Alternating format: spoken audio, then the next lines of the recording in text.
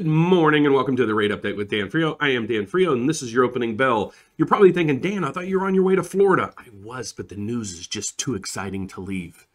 Now, between me and you, my flight got delayed. So I was able to do the morning alert. So let's get into what's coming in so far today. So we have the jobs numbers coming in good. Companies added 455,000 jobs in March, slightly more than expected. So that news you would think would be good for the stock market, maybe not so good for the bond markets and MBSs because it's it's still fueling more and more and more growth in the economy, but I'm okay with that part of it. And then the next piece of the puzzle, you're going to see home prices moved up even faster in January despite higher rates. Well, the most of the rates haven't been baked in yet. Okay, so but when they do, um, you're going to start seeing house prices or at least houses starting to stabilize. All right, so I just posted an article through my social media. Please check it out. But the good news here is here's basically what's going on with the housing prices and then it gives you some CoreLogic information. And then down through the bottom here, it says the houses are appreciating and excel. They actually accelerated in uh, December. While rising rates have rarely resulted in home prices dropping, the big spikes do eventually tend to show up in the form of deceleration. So let's see uh, on the charts here, kind of what happened in the past few cycles that we saw this.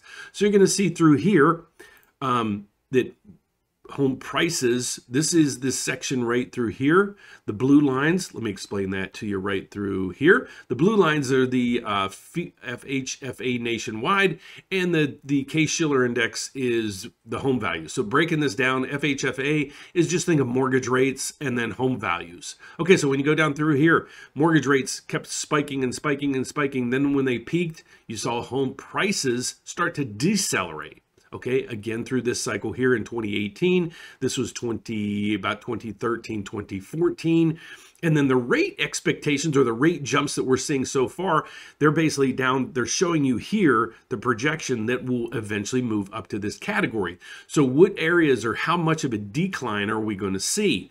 But the good news here if you if you're saying see dan i told you everything's starting going to start to crash. Well let's read this basically verbatim. For the sake of clarity in the spirit of avoiding confusion, please keep in mind that the chart above conveys home prices in terms of year-over-year change. Anytime the lines are above zero, lines are above zero, prices are increasing. In other words, the highlighted mortgage rate spike resulted in prices decelerating, not decreasing. So the takeaway there is they're not even with the rate spikes, there's no expectations of a market crash. So that's just a little bit more information out there for those out there that are concerned of a housing crash. So let's get on to why you're here today. Well, based on all this news, what are we seeing in the MBS market and in regards to mortgage rates? Well, first off, let's check the economic calendar. So let's recap a little bit of the information that we got yesterday. Uh, we have consumer confidence, which was up, not much, but I'll, I'll take it. We had the JOLT index, job openings, came in 11.2 million job openings. So far today, we saw the ADP payroll numbers. Last previous number was came in at 486. The forecast was 450 and we came in at 455. But ADP is wrong I hate to say it most of the time. So we'll check out uh, some of the news that's coming in on Friday in regards to the, the employment numbers, unemployment rates, and so forth. But I'll, I'll show you that down below. Crude oil inventories is coming in uh, here shortly. That is going to help us keep a gauge on where energy prices are. And then tomorrow we're going to see initial jobless claims, how many people filed for new claims. And then on Friday, this gives us a whole snapshot of what's going on with employment, so we got non-farm payrolls, the unemployment rate, and then we also have the manufacturing index. So that a lot of news packed into the week.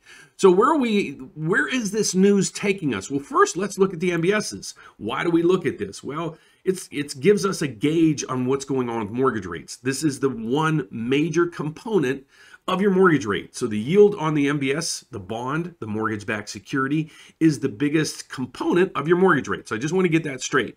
As this number here goes down, that means the prices are going down, means the rate or the yield is going up. Okay, so we don't like when this number is red or down. We love the greens. Why? Again, as the price goes up, yields come down.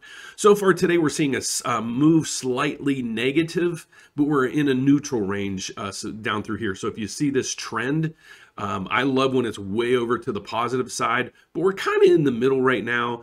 Um, and it's it's saying it's moving down slightly. So that's its temperature in the markets. So where are rates? Where did they open or where did they close last night? Where are they opening this morning? Well, we got right here, and we're getting some good signs here. Um, we spiked from three percent to basically five percent, which in within about a 60 day window, and I'm going to do a report on that uh, this weekend. But you're seeing where rates are coming in right now nationally. This is a post by Mortgage News Daily that we review every day. and just giving you a bead or a guideline on what's going on with mortgage rates. So let's go across the bottom here and just explain what's going on and to read this and I'll show you, I'll, I'll talk in our lingo so you get it. All right, so right now we see the 30-year fixed rate up seven basis points to 4.88 coming in with a 0.4 in, in uh, points that would need to be charged. So let me dissect that real quick. That means today's rate is 4.88. It is down 0.07 from where we were yesterday, and it cost you just shy of a half a point to get that rate. So a lot of times if you take out the fee to buy down the rate, this rate would be at five. So we're still in the five range if it doesn't cost you anything. All right, so then we go across to the 15 year. We're down one basis points to 4.22, also coming in with a cost. We got the 30 year fixed uh, FHA slash VA. These are the government sections of the, the report coming in at 4.44, down two basis points. The 30 year jumbo down two basis points to 4.19, and the stagnant arm rates and I'm still really dissecting this for you guys to be able to present these offers for you but they're coming in at 3.95 and that also is coming in with a half a point. So if you bake this into it you're probably at 4.125 at least on this rate. Okay so that's what's going on there. So that is my report for today guys. I greatly appreciate you guys watching. Uh, my flight is later this afternoon so I won't be posting the video today but I will be back tomorrow morning to give you a recap of what happened the rest of today based on a lot of this news.